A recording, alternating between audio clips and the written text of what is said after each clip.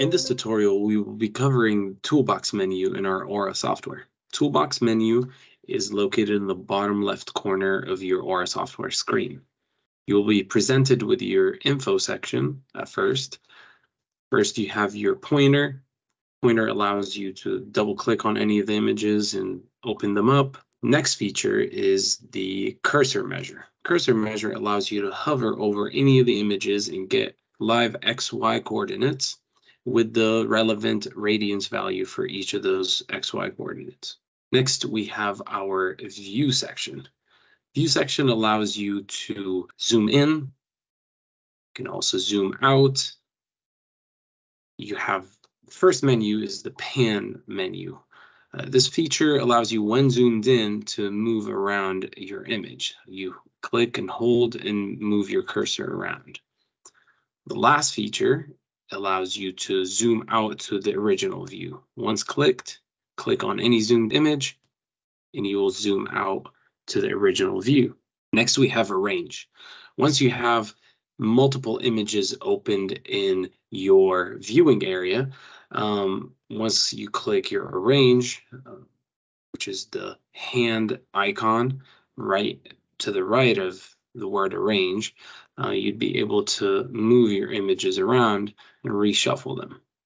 Next feature is called the shuffle feature. Once selected, you hover over any of the images and you click. Once you click, each click takes you to a different image type.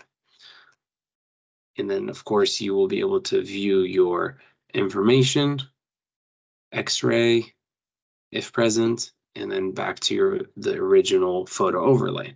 Next, we have the measure feature. Measure feature allows you to draw a region of interest. Now you can draw different shapes. The first one is the rectangular region of interest. Next is the um, ellipse. Third is freehand ROI, which allows you to draw an ROI to your liking, you would be able to move your cursor and draw any shape you like.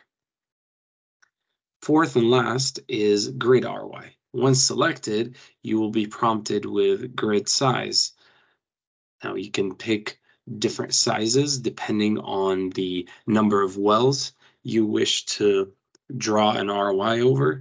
Let's say we select the four by six, click continue, click, drag, and then you'd, you'd be able to draw your grid.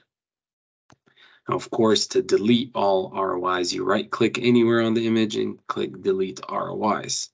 Next is our label feature. Right next to the word label, you have the first icon, which is um, to allows you to add an annotation. Once you select that feature, click anywhere on the image, and then you would be able to annotate be able to move the annotation around. You can have multiple ones and so on. Um, if you wish to remove the red line, you can click anywhere on it and then select hide line. And now you'd be able to just have the label without the red line. And lastly, we have the measurement manager. Once an ROI is drawn, you can select the measurement manager which is the ruler right next to measurements, and you'd be able to see the data. You can, of course, edit your columns, add any more um, columns, depending on what you want to view. But of course, we are in bioluminescence mode. We would be interested in the total emission, which is photons per second. And uh, that's it. Thank you for watching.